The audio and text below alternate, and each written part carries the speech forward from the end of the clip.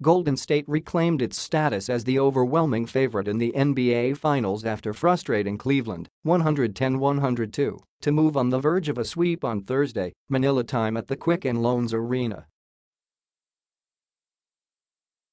Kevin Durant scorched hot with 43 points and missed a triple-double by three assists as he made up for the early struggles of Steph Curry and Klay Thompson in Game 3 at the Cavs turf.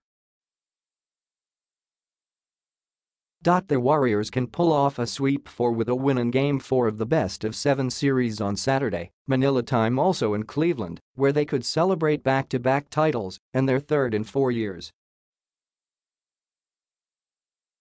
With the Splash Brothers failing to find the mark, Durant took over, making 15 of his 23 attempts from the field, including a 6 of 9 clip from beyond the arc, completing his virtuoso performance with 13 rebounds, 7 assists, and 1 steal in 43 minutes.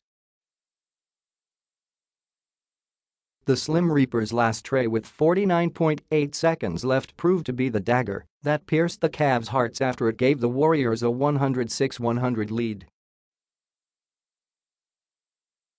Curry and Thompson combined for just 21 points on 7 of 27 shooting from the field.